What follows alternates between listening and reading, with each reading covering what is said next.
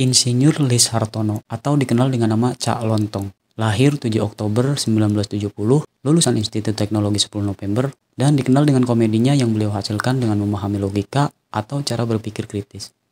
Dan sejak saat itu juga, aku menganggap bahwasanya komedi adalah salah satu kecerdasan dari sudut pandang yang berbeda. Aku Ben Sol, selamat datang di Daily Scribble. Selasa kali ini, aku ingin mencoba membuat Scribble dengan sosok Cak Lontong.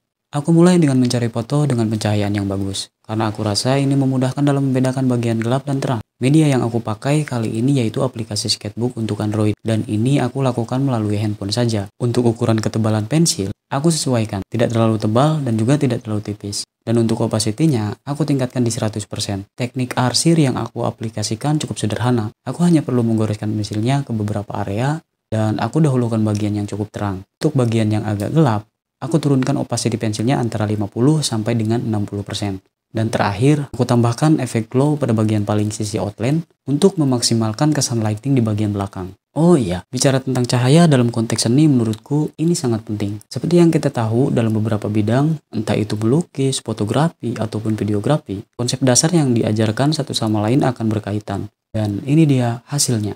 Thank you.